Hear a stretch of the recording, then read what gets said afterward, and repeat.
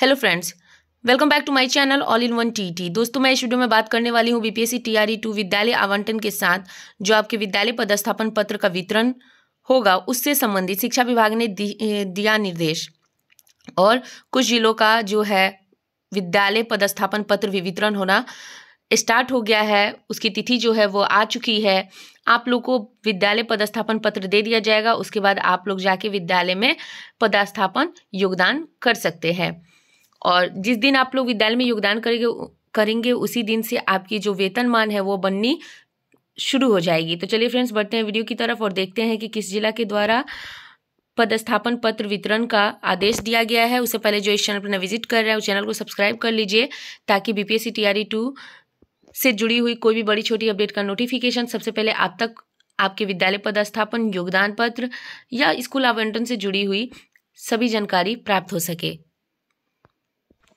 तो दोस्तों, आप देख तक, सकते हैं कि समाहरणालय नवादा, जिला गोपनीय शाखा आदेश, जिला शिक्षा पदाधिकारी नवादा का पत्रांक अड़तालीस, स्थापना दिनांक इकतीस एक दो हज़ार चौबीस के द्वारा बिहार लोक सेवा आयोग पटना द्वारा प्रकाशित विज्ञापन संख्या सत्ताईस तेईस के आलोक में द्वितीय चरण के अनुशंसित विद्यालय अध्यापकों एवं विज्ञापन संख्या छब्बीस तेईस के आलोक के प्रथम चरण के पूरक परीक्षा फल से अनुशंसित।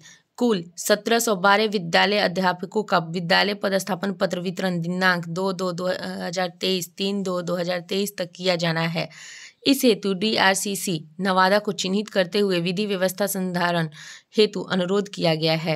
एतव उपयुक्त परिप्रेक्ष्य में जिला शिक्षा पदाधिकारी नवादा के अनुरोध के आलोक में निम्न व्यवस्थाएँ की जाती है। बिहार लोक सेवा आयोग द्वारा चयनित विद्यालय अध्यापकों का विद्यालय पदस्थापन पत्र वितरण हेतु दिनांक दो दो दो हज़ार तेईस, तीन दो दो हज़ार तेईस तक के लिए जिला निबंधन एवं परामर्श केंद्र नवादा का चयन किया जाता है।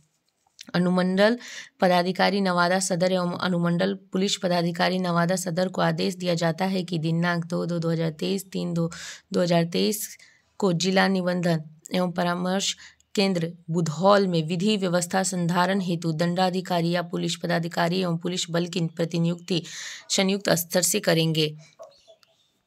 और साथ ही सिविल सर्जन नवादा को आदेश दिया जाता है कि दिनांक दो दो दो हज़ार तेईस, तीन दो दो हज़ार तेईस को जिला निबंधन एवं परामर्श केंद्र बुधौल, नवादा में सभी आवश्यक जीवन रक्षा दवाओं के साथ एक एंबुलेंस की प्रतिनियुक्ति करेंगे। जिला पदाधिकारी नवादा, ये देख सकते हैं, इकतीस एक दो हज़ार तेईस के दिनांक में लेटर को प्रकाशित किया गया है कि दो और तीन फरवरी को आपके विद्यालय पदस्थापन पत्र का वितरण किया जाएगा और इस पत्र के साथ ही जो शिक्षक अभ्यर्थी हैं या जो शिक्षक हैं, वो लोग अपने विद्यालय में योगदान करेंगे और उस दिन से उनके वेतनमान की शुरुआत हो जाएगी वीडियो को अंत तक देखने के लिए। आप सभी का धन्यवाद। वीडियो पसंद आए तो वीडियो को लाइक करें, चैनल सब्सक्राइब करें, दोस्तों में शेयर करें। धन्यवाद।